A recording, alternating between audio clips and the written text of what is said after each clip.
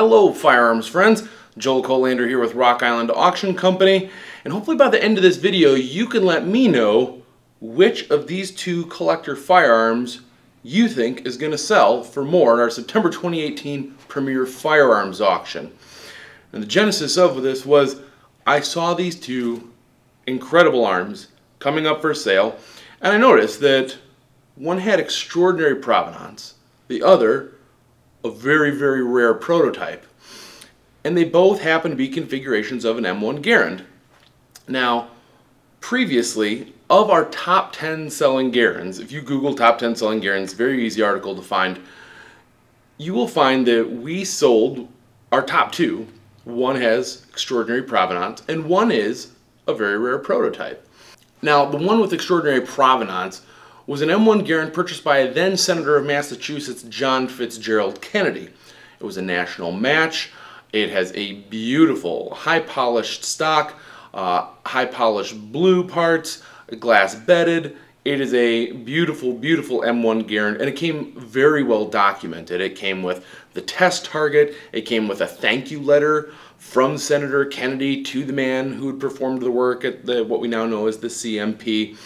Uh, incredible gun. And that sold in September 2015 for $149,500. Then a world record. Uh, it's a substantial sum, I think we can all agree, for an M1 Garand. Now, within a year, the world record set by the JFK M1 Garand was supplanted by a prototype M1 Garand. This is a 1931 dated prototype, uh, number T3E2. Now, that's a lot of earlier than most people think of an M1 Garand, and only 20 were made. Uh, this one was serial number 15. Uh, it was in beautiful condition, much like the JFK M1 Garand. But, but upping the ante in the cool factor, all 20 of those produced in that series were chambered in 276. So this is before uh, they were even going to the, uh, the 30-06 round, of course, that they would eventually be chambered in.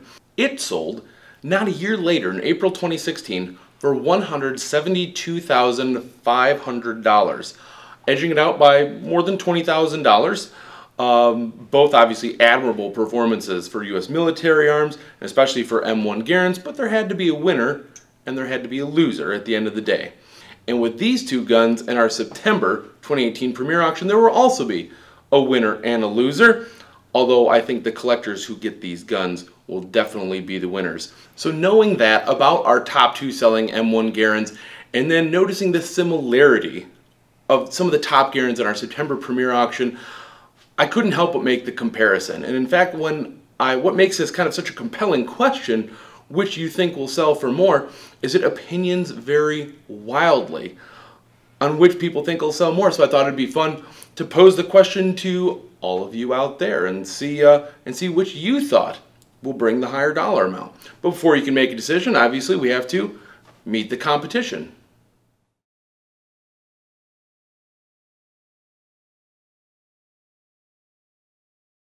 And this is our first competitor.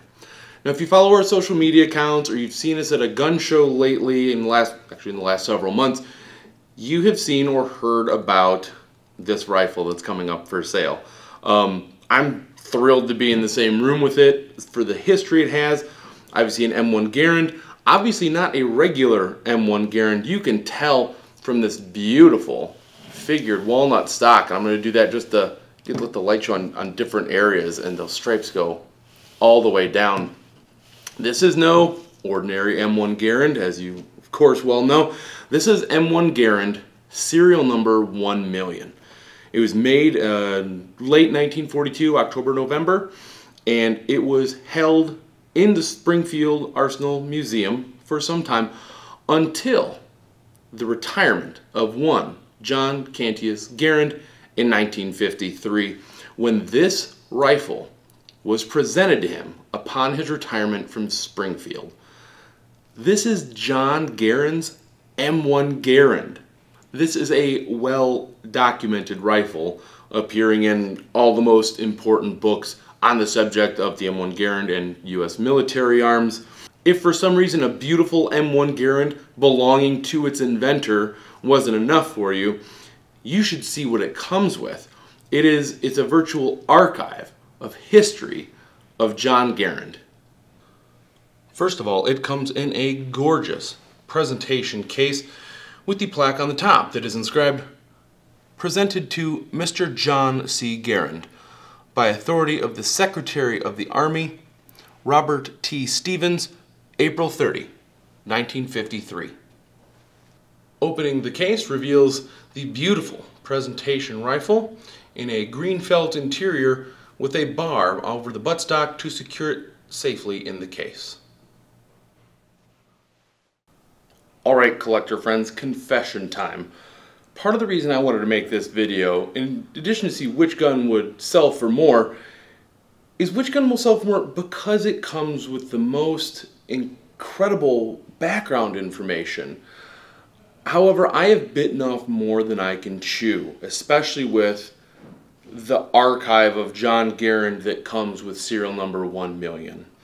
I was going to show you highlights and and go over some things that, that aren't particularly uh, photoed or, or, maybe mentioned in depth uh, in our description on the website, but there's too much.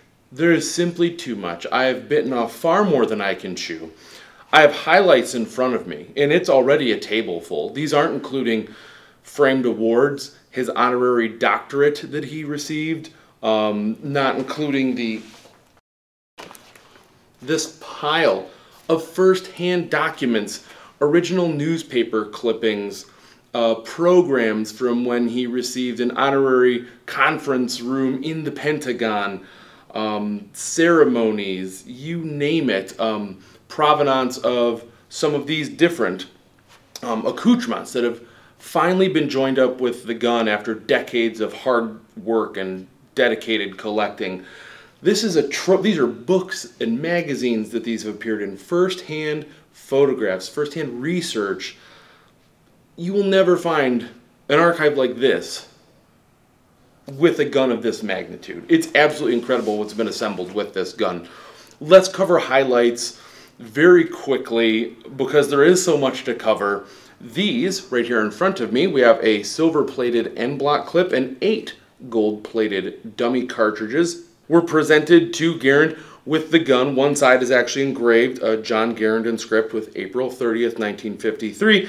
The other side saying Spring Division of Borg Warner Corp. They are in immaculate condition, uh, so I'm going to touch them as little as possible.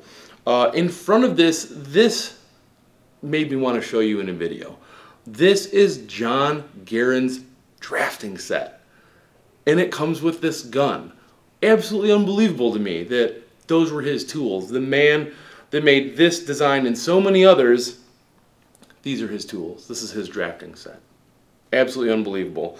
We have, um, when the gun was presented, we have the program from that night when serial number 1 million was presented. We have a book of original photographs, 17 original photographs from when that gun was presented.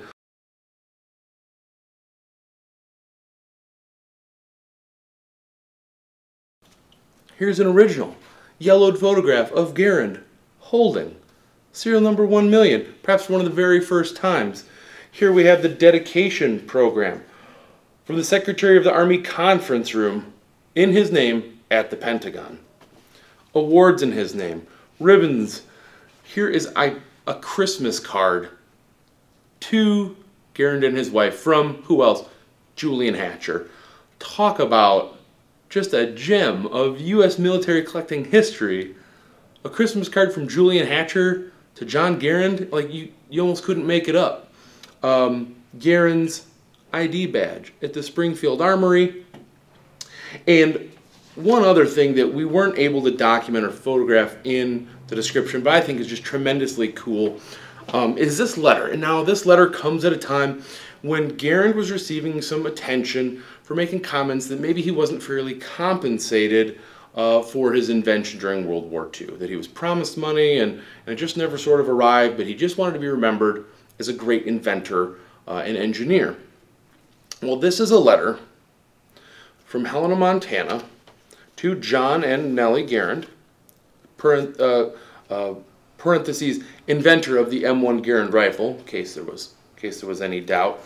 And this letter is accompanied by a check and it is a check signed by one Miss Dorothy Jerome to John Garand of Springfield, Massachusetts, again, inventor of the M1 Garand rifle, for $1.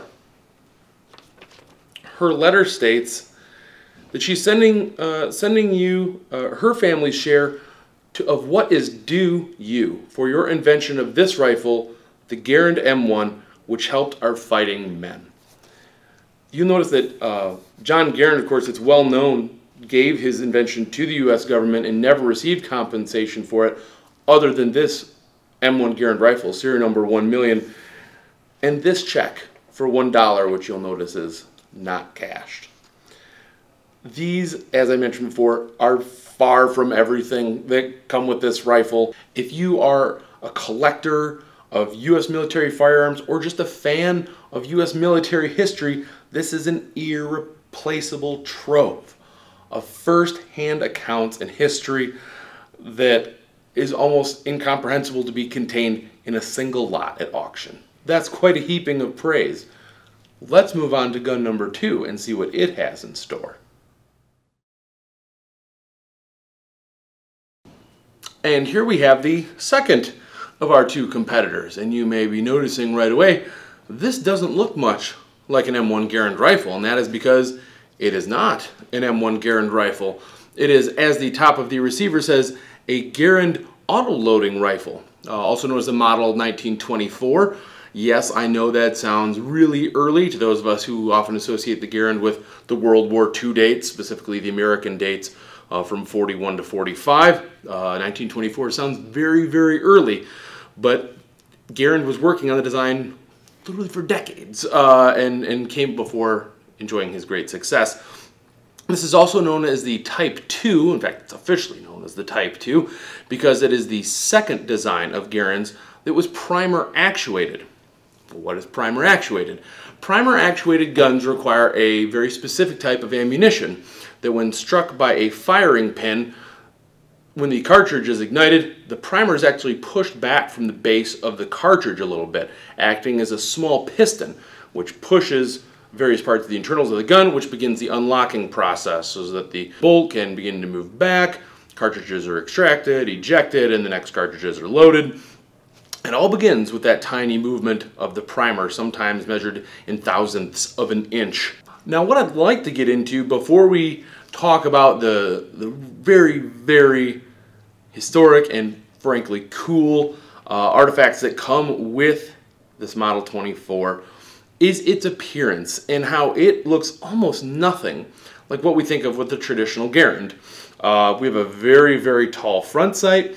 We have a two-piece guard ahead of the barrel band. Here we split, but nothing that would resemble the op rod that, that we are all used to. Uh, we do not have a rotating bolt. Again, this is primer actuated, so if anything, there's a small compressible portion um, on the front of the bolt face, which the primer would act against, that kind of, like we said, begins that whole unlocking process. Um, coming back to the receiver, we have a charging handle that's located way back on the receiver, not our little hook up here by the port that we're used to for our standard M1 Garand. It is very knob shaped. And when activated, we have this large sort of naked bar and charging handle hanging out in the middle of nowhere. Um, we also do have a recess for a clip, so clip loaded ammunition, closed much the same way. It would be bad to get Garand thumb on a Garand auto-loading rifle, so we've avoided that, thankfully. Um, the rear sights are about the only thing that begins to look like what we know of as a traditional M1 Garand. We start to have that hump, we have a peep sight here, although we do have remnants of earlier firearms with the flip-up ladder sights on the rear. Um, we don't have the, the one-piece stock uh, form going to the butt stock. We do have two-piece. Um, this metal part of the wrist, which this metal part of the wrist, uh, which begins to at least reminds me a little bit of an Enfield. I know it's not the true band that an Enfield has, but that's what it makes me think of anyway. And other than just the basic, you know, shape of a rifle, it's about, it seems like all it has in common with an M1 Garand, which to me adds to the cool factor of this piece.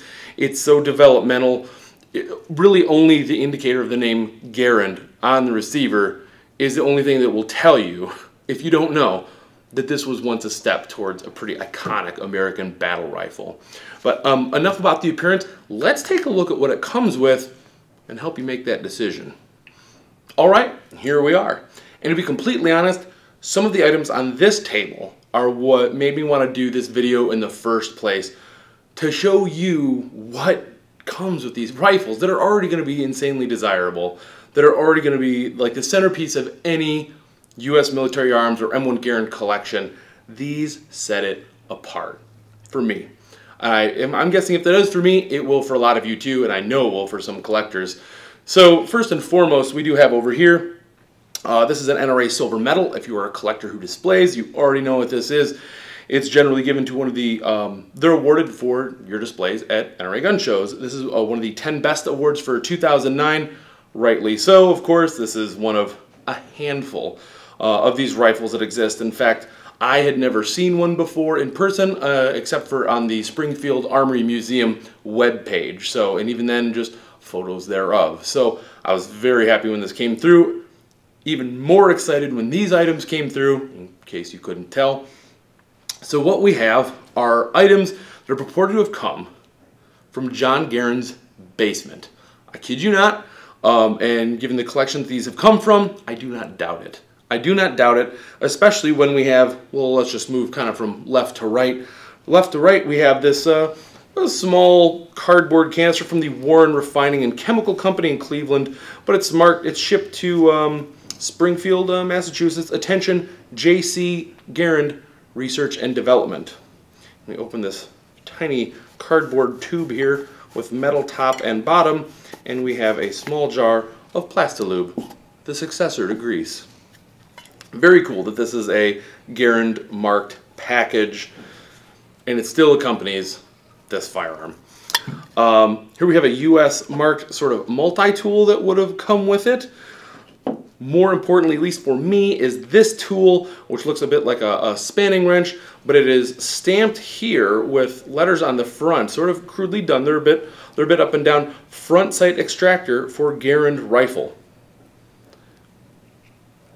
The fact that this even exists is beyond me. The fact that it still exists with that rifle I, I don't have words. I don't have words for it that this tool is still with that rifle nearly 100 years later. That's exceptional. And where else would you find another except with this rifle?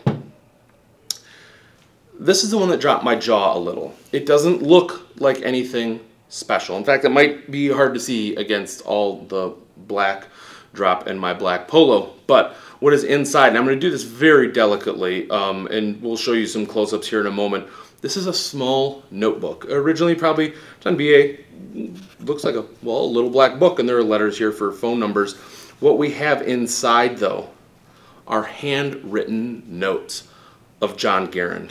Um, there's some uh, members of the military listed. There are uh, notes made.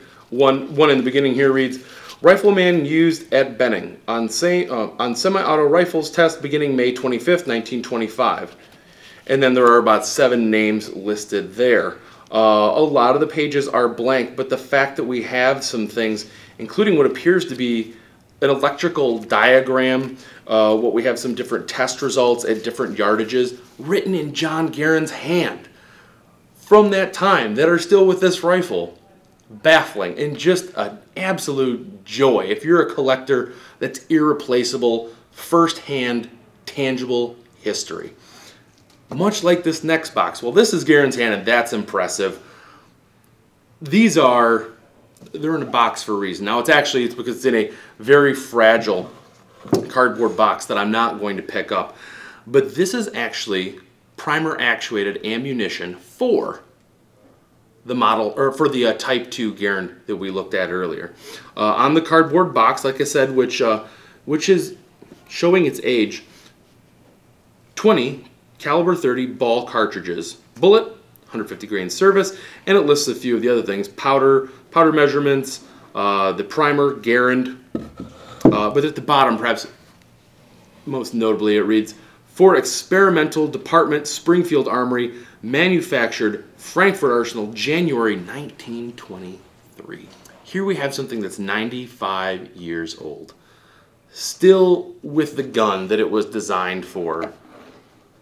Where else are you going to find ammunition for this that's not in a museum?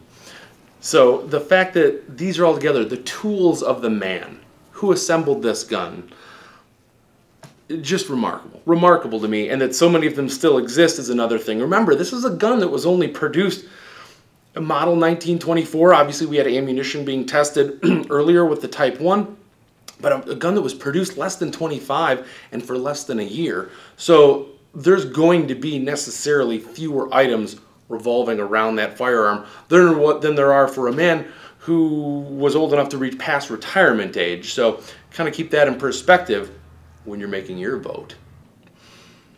Wow, that was a lot of firearms history to fit into a single video, but I think it was well worth it. And now that you've heard the stories between these two competitors, which do you think is going to be more valuable in the 2018 September Premier Firearms Auction? Will it be the Provenance or the prototype? And while I am genuinely curious to know which people uh, think will, will find a higher value and the reasonings behind it, this was really also an excellent opportunity um, for me to show you just the, the treasure trove of firsthand documents and history and articles behind these two just incredible collector firearms, uh, both surrounding uh, the inventor and the invention. So leave your comments below. This is the one time I'm going to tell you not to go to the Rock Island Auction webpage. Don't cheat. Don't look at the pre-auction estimates. Leave which one you think is will find the higher value in the auction. Then you can head over to rockislandauction.com, look at all the pre-auction estimates you like, the thousands of collector firearms in this pretty incredible sale. Of course, I would be remiss if I didn't take a moment to offer a very sincere thank you to Mr. Alan Coors. Uh, both of these incredible firearms are from his collection along with dozens of others. Uh, U.S. military collectors rejoice. And I'm going to take the opportunity to touch them both at the same time and say, until next time, keep your powder dry.